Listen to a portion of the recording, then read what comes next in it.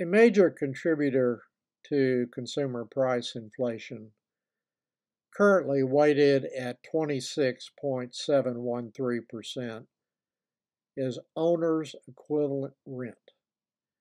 The name itself describes a fictional expense since owners of homes do not pay rent to themselves. I built my home that I now live in in 1982 and have yet to pay rent to myself. I built this home using cash because mortgage rates then were at 16% with points on top of that.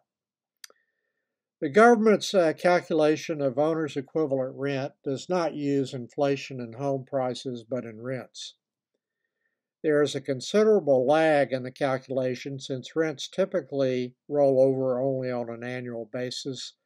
The lag is further increased by the government sampling rent prices at six month intervals and then using a rolling six month average.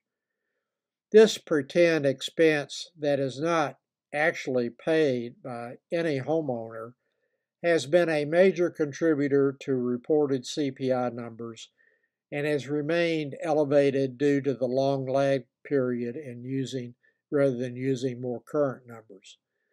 What renters actually pay to live in apartments is separate and generally weighted at close to 8%. The last reported annual increase in owner's equivalent rent was 5.9% through March of 2024 when the government last reported that number even though the apartment rents are trending slightly down. The annual uh, owner's equivalent rent increase has been slowly decreasing. In June of 2023, the annual increase was at 7.8% and had fallen to 6.4% by December 2023.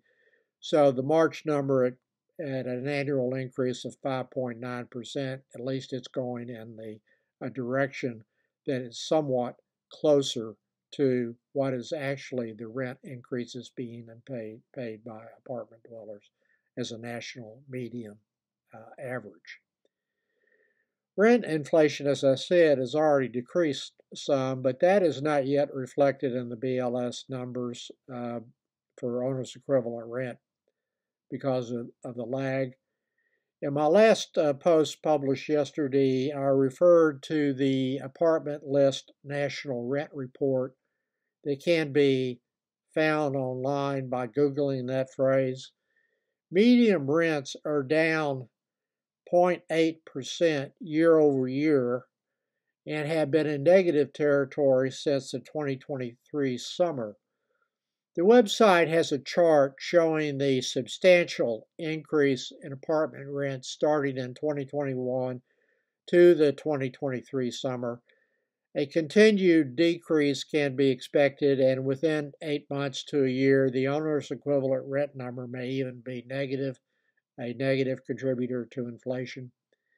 All of this has some minor impact on what I'm going to be doing in the next several months when I decide how to allocate uh, my uh, my portfolio.